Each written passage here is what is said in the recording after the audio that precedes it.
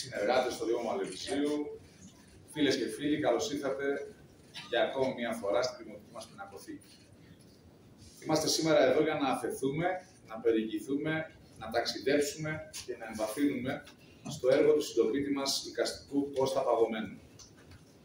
Είμαστε εδώ για να γνωρίσουμε για πρώτη φορά ολοκληρωμένα το πολυδιάστατο, πραγματικά πολυδιάστατο έργο και να τιμήσουμε τον ίδιο τον καλλιτέχνη. Οι ιδανικές φωνές της αναδρομικής έκθεσης του Κώστα Παγωμένου είναι οι μνήμες μας που ζωντανεύουν μέσα από τι δημιουργίες του. Οι μνήμες, τα βιώματα που μας ακολουθούν, γίνονται στοιχεία της ταυτότητάς μας και επηρεάζουν τον προσανατολισμό μας, καθότι αποτελούν τη δεξαμενή από την οποία αντλούμε τη συλλογική μας γνώση και εμπειρία. Δίχως αυτά δεν υπάρχει προοπτική ούτε και μέλλον. Οι μνήμες λειτουργούν ως θεμέλια και αγρογωνιαίοι λύθη.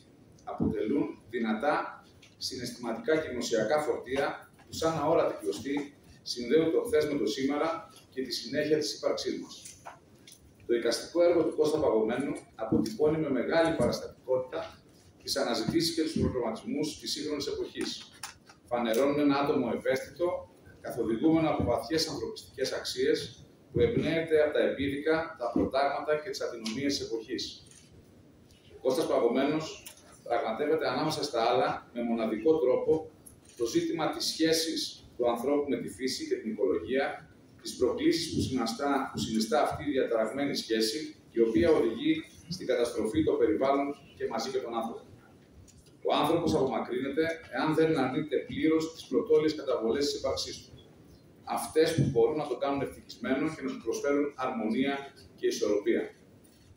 Από τις αρχαίγονες φωνές, τα μηνύματα και τους ήχους του ζωηφόρου θαλάσσιου περιβάλλοντος, αυτά που από ένστικτο πασχίζουμε να ακούσουμε κάθε φορά που ακουμπάμε ένα κοχύλι στο αυτί μας, έως την καθημερινότητα των ανθρώπων, τον πολύπλοκο κόσμο των αλεξαρτήσεων, των πολέμων, της προσφυγιάς, των δύσκολων σχέσεων, της λύπης και της χαράς του έρωτα και του θανάτου, ως ευρύτερες έννοιες που καθορίζουν την ανθρώπινη ζωή.